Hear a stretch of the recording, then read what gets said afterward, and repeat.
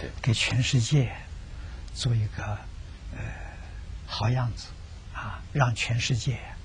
都来看，都来学习，都来推动啊，那么这个世界全世界化解冲突，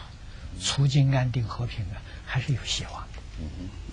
所以只要只要肯做，对我才有希望这就是这样一个很清楚的一个概念啊。所以县长对对我们今天谈的话题有什么样的感想？可以做一个小结论。非常高兴，嗯就说呃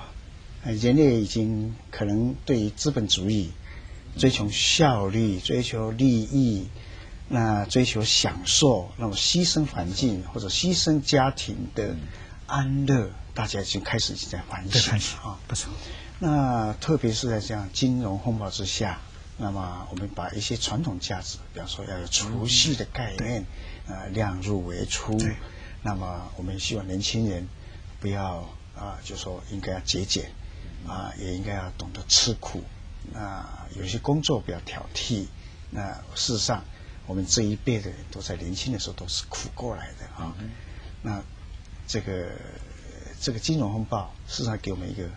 开始心灵安顿、反省的好机会了。那我们不要把地球的资源给耗尽掉了。那以后真的是永远不不再回复了。那我们把世代以后的子孙的资产都把它花掉的话，呃是下一代人会骂我们，我们是非常不道德的哦。嗯啊，所以不管我们信仰哪哪一种宗教，如果我们不把世代的这种正义把它涵盖在这里边，我们在这里的享受，那是可能是一种罪恶。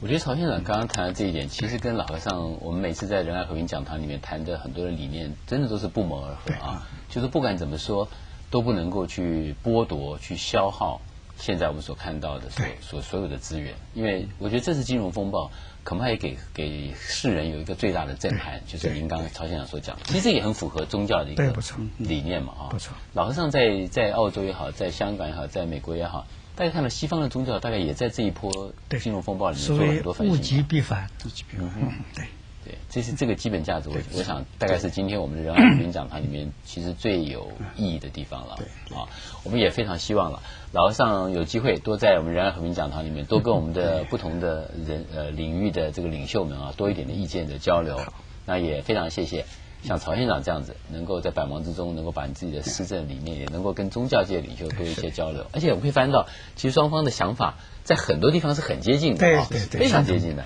那这大概是我们这个仁爱和平讲堂这样的一种对话最有意义的地方了。再一次的谢谢老和尚。谢谢谢也谢谢谢谢屏东县的县长曹县长，谢谢您也谢谢各位的收看，我们下次同一时间再见。